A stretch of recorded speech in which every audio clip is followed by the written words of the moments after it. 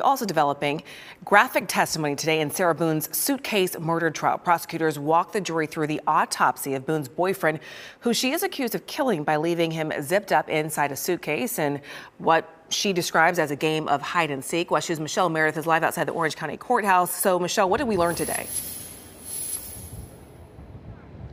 Well, we learned that physically George Torres was a very small man that he was about five foot three inches tall, weighed 103 pounds, which basically explains how he's able to fit into that suitcase in the first place.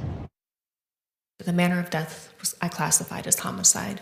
With Sarah Boone looking on, the medical examiner laid out to the jury exactly how George Torres died. There were some on the forearms as well.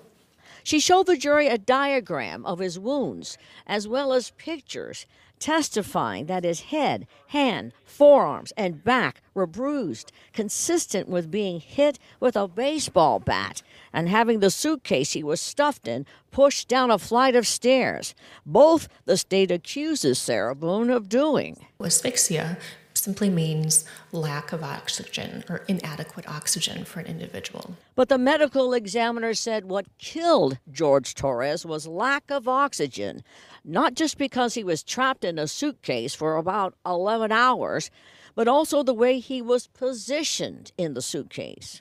Based on some of the, the findings, um, I favor that he was most likely in like a fetal type position. So knees flexed, arms flexed, and the head most likely flexed forward. The defense pointed out the zipper on the suitcase was broken, possibly allowing oxygen in, but the medical examiner gave that little merit. That's always the question is, you know, there was, it, would it be enough? Right? Because you can still have oxygen there, but it may not be enough.